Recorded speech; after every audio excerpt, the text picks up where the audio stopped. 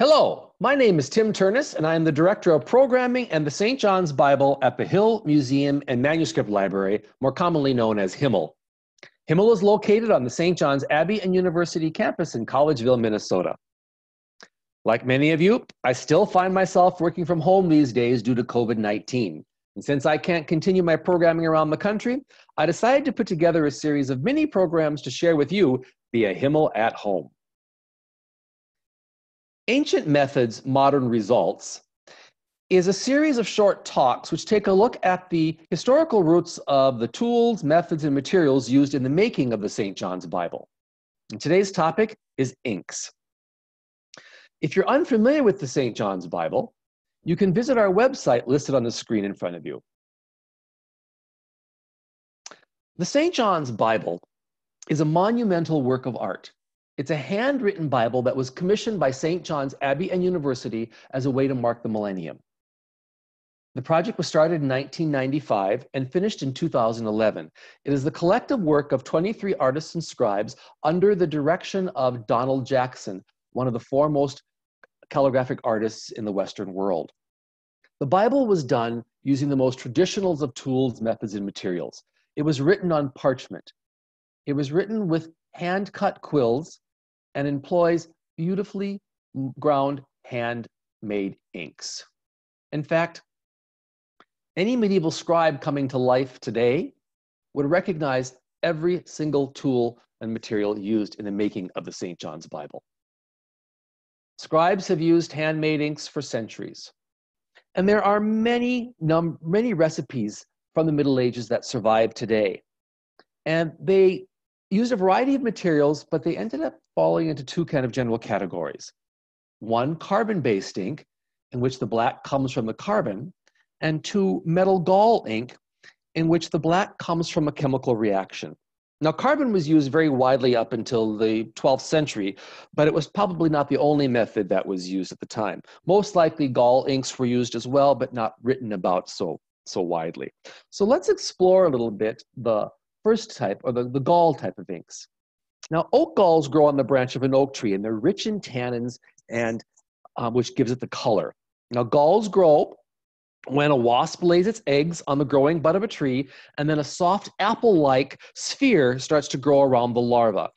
Uh, when they're mature, the wasp bores its way out of the, the gall, leaving the dried gall nut behind. You can see here a little bit of a borehole left over. Now, that nut is very rich in tannic and gallic acids. And the recipes, many of the recipes, or in fact, most of them from the Middle Ages, say the first step is to crush all those gall nuts, and then you want to soak them in rainwater or sometimes vinegar for several days or in the sun or near a fire. One old recipe from the Middle Ages says you can speed up the process by boiling the crushed gall nuts in water for as long as it takes to say the Our Father three times. Other recipes say you should soak them in the finest quality beverage you can afford or can find. So, whatever it is, you're going to come up with this very gall like or this very dark brownish water because you take those boiled nuts or those soaked nuts and you strain the water, strain those off, and you end up with the brown water.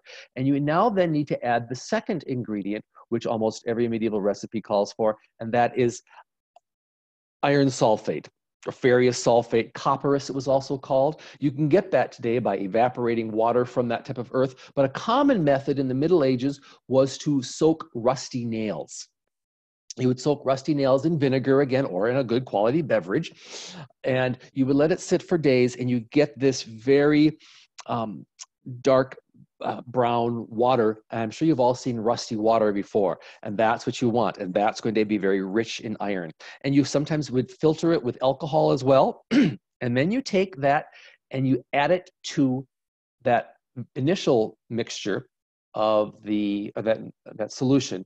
So you have the ta- the tannin-rich oak gall solution on the left here, and you slowly add the iron sulfate mixture, and it turns almost immediately black with a chemical reaction and you end up with this very black water.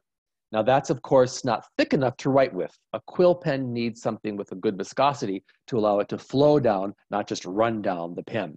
So you thicken that with gum arabic.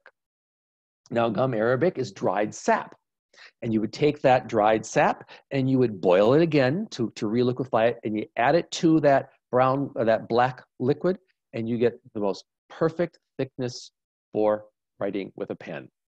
And you can see here is a manuscript from our collection written with gall ink from the, from the 19th century.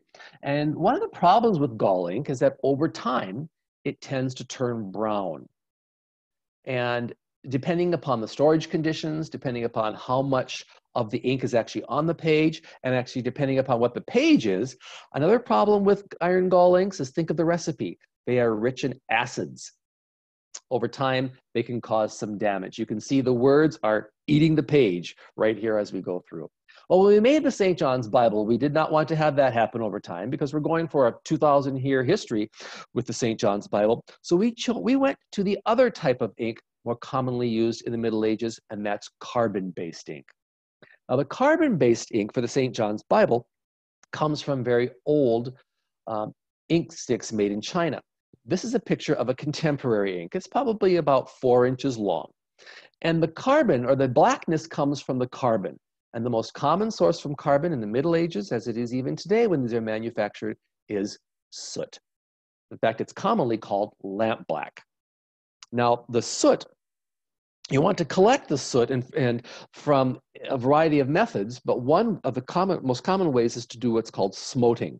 And traditional Chinese black ink, the soot comes from charred pine tree roots and you want to burn something that's very oily and resinous so you can get that, that dark richness you get, so you can get a lot of smoke. Today, most of the ink sticks are made from burning tung oil because that comes from the tung tree, which is also very resinous. And you do that in a very traditional way. And here's a picture of a contemporary artist doing, or a manufacturer, smoting the tung oil. You can see the oil down here in the bowl. It has a wick tossed into it and they let it burn. They cover that with these porcelain cups or you know collectors and the smoke comes up in here and it collects in this as the smoke particles rise it hits that cooler porcelain piece and it becomes soot. You brush that off and you collect that pile. And look at the statistic over here. You don't get much soot after an entire day's burning of 120 lamps. And think of how much soot you need to going to collect to make one four inch stick of ink. It's quite a bit. So you have this pile of powder, you need to thicken it into a paste. And so once again, you're going to add your thickener or your glue. Common recipes use gum arabic, but many of them also use bone glue. And bone glue comes from the hides and bones of horses and cows. And you dry that, and then, of course, you dissolve that in water. You mix that together, and you get really a bread dough like texture. And you can see here, this manufacturer, this artisan, is pounding that texture, uh, that, that mixture of gum and soot, and it's very dough-like, and they knead it. And then you take off a little bit of a pinch of it, and you can see how, how soft it looks here, almost like Play-Doh or bread dough. And that allows you now to shape it and to put it into your mold. And they mold those by pounding them in the variety of shapes you can see on the right over here. And then once that's molded and ready to go and trimmed, it has to be air dried. You don't want to bake it because that will cause cracking and you and will also make it brittle when you start to use the ink. And they let it air dry depending upon the size of the ink stick for up to two years. And you can see here they have them on shelves but also they hang them in little linen bags from the ceiling. And when that is finished, you have a perfect stick of ink that is ready to use tomorrow, or it can be used in 500 or 600 years from now because it's very stable. The recipe includes about 10 parts of soot to six parts of this glue, and then they also glaze it with that glue on the outside so that the carbon doesn't rub off on your hands because you need to use your hands to make it work. You take that ink stick in your hand, add a little bit of water to your grinding stone, and you start to grind. The grinding breaks down the soot and the glue, or rehydrates the glue, and anything else that was in there. Sometimes there's a little bit of egg white in there, and sometimes there's even honey in some of these inks, old ink recipes. And you start to mix this, and the ink and the water will tell you when it's the perfect viscosity it starts to become slimy.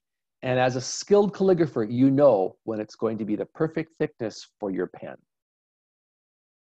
Now, the ink sticks for the St. John's Bible were made in the exact same way. They were made in the 1800s in China. Donald Jackson bought the ink sticks from a company in London, in Camden Town, London, and the company is now closed from Robertson's. And he would go there and shop there in the 1960s and 70s. And that's when he bought these ink sticks because the ink sticks were brought over in the 1800s on sailing ships in shipments of tea from China. And this company, Robertson, still had this supply of ink sticks. And Do- Donald Jackson bought them over the, over the years. He bought about 144 of them for about two shillings a piece, or about 12 cents each. And he wanted to use these ink sticks in the making of the St. John's Bible. But he soon discovered because he had given them away as gifts or had given them to fellow calligraphers to use, that he ended up not having enough of these. So he went to see if he could find some more and discovered it would, is impossible to buy them because they were very valuable collector's items. They were selling for an unbelievable amount of money. So he was disappointed that he couldn't use this ink for the St. John's Bible. Well, one of his colleagues, Sally Mae Joseph, was giving a lecture to some fellow calligraphers, and one of them in the back, when Sally mentioned that they wanted to use these inks and didn't have enough, one of them in the back said, You know what? Donald gave me those inks several years ago. I put them in a drawer. I've not used them. I will give them back. A couple of other people with whom Donald had given these ink sticks as presents said, you know what? I've never used them either. I'll send mine back as well. And Donald ended up having enough sticks of this beautiful Chinese 1800s black carbon based ink to write the entire St. John's Bible. The red sticks of ink used in like the kites or the footnotes for the St. John's Bible were also made in the late 1800s. In fact, the company that made the vermilion sticks that you see in front of you closed down in 1867. And they are beautifully crafted sticks of ink. Vermilion is made when you take mercuric sulfate, so not you don't want to, don't want to lick that, and you mix it with egg white and gum arabic and other sometimes there's other ingredients like honey in there as well and you have this solid stick of ink and use it the same way as the black stick. Now the shopkeeper that owned that had these ink sticks from the 1800s was kind of stingy with them and he was afraid of running out of them so he was very wary of selling them. And donald jackson would go in there in the 60s and 70s and buy one stick of ink or maybe two, try to get him to sell or he'd send his friends in to buy one or two at a time as well. Not enough to create the guy, a panic in the guy and think there's a rush on them. And over time, Donald got a few of them. But when the shop owner decided to shut down, Donald went and tried to buy all of them that he had, and the shop owner refused to sell them. So when everything was closed down and the older gentleman was gone, Donald researched them and actually found the supply of inks, these Vermilion ink sticks, and discovered the man had a hoard of over 2,000 of them. And Donald Jackson was able to buy all the, of them, the entire supply, for literally pennies a piece. So he ended up getting them in the end. And they are truly beautiful little works of art in themselves. They are actually wrapped in their original papers from the 1800s. And when you open them, they are just exquisite. Well, no matter how exquisite your tools are, no matter how wonderful your materials are, it still takes a very talented scribe to bring those materials to life on the page. You can learn more about the St. John's Bible by visiting our website. And if you wish to learn more about the preservation work that HMML does on manuscripts around the world, please visit our website and consider becoming one of our donors. Thank you.